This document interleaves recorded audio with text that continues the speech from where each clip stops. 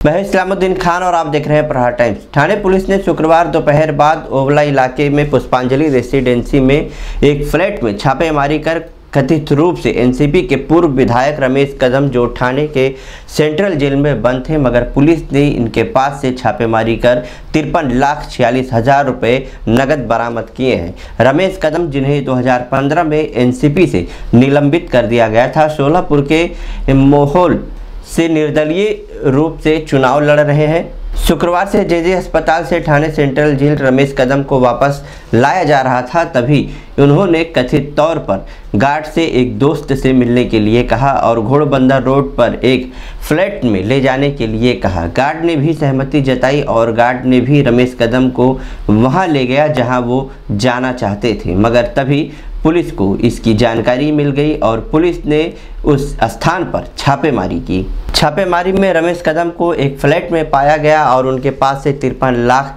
छियालीस हज़ार रुपये नकद बरामद किए गए हैं। पुलिस ने जानकारी दी है कि नकदी आयकर विभाग को सौंप दिया गया है और इस पूरे मामले की जाँच पड़ताल की जा रही है। रमेश कदम 150 करोड़ रुपए के अन्ना भाऊ साठे डेवलपमेंट कारपोरेशन की योजनाओं में कथित तौर पर अनियमितताओं के मामले में गिरफ्तारी के बाद से थाने के सेंट्रल जेल में बंद किया गया है। तो तमाम खबरों को जानने के लिए देखते रहिए प्रहार टाइम ताज़ा तरीन खबरों के लिए हमारे यूट्यूब चैनल को सब्सक्राइब करें और बेल आइकॉन दबाना ना भूलें। अगर आप फेसबुक पर देखते हैं तो हमारे पेज को लाइक करें।